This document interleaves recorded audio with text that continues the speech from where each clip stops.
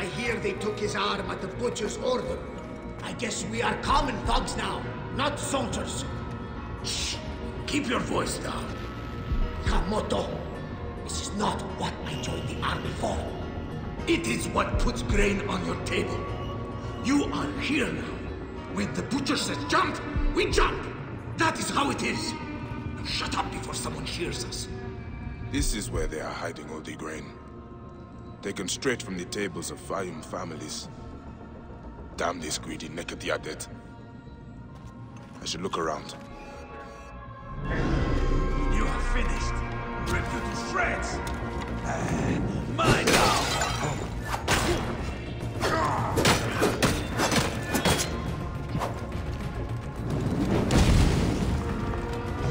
Damn you! You cannot escape!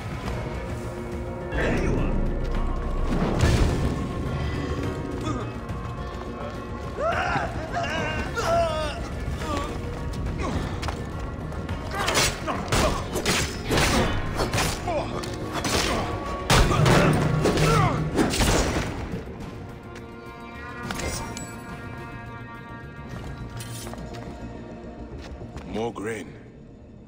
The poor are starving while the rich fill their storehouses. This has to stop.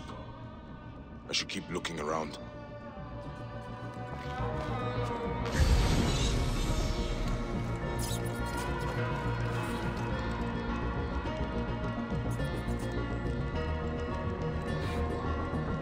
Ah, this is it. The butcher is in the villa nearby. It is time this butcher and I had a talk.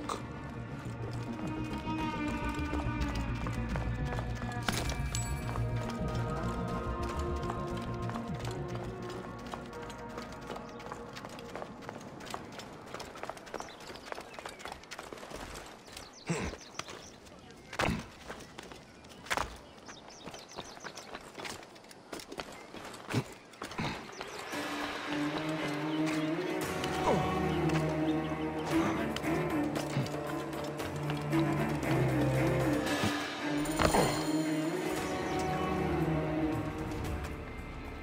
Ah.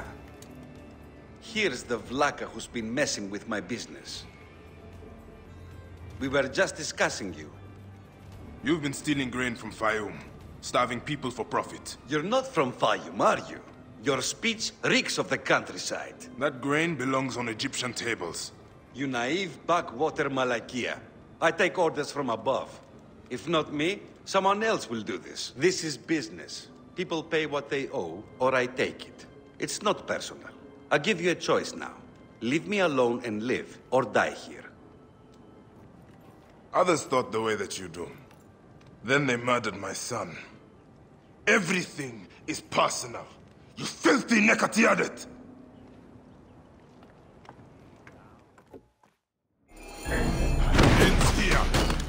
Guards, take care of this.